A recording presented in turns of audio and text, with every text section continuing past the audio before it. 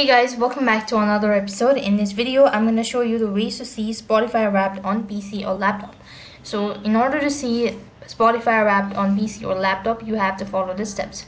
First of all, you have to go ahead and open up a browser. You could also go ahead and install the application on your PC or you could also use a web version. Either way, the procedure is going to remain the same.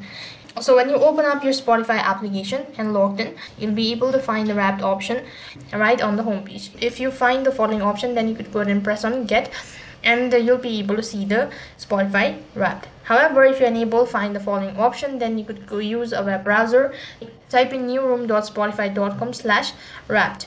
So you could go ahead and type in that.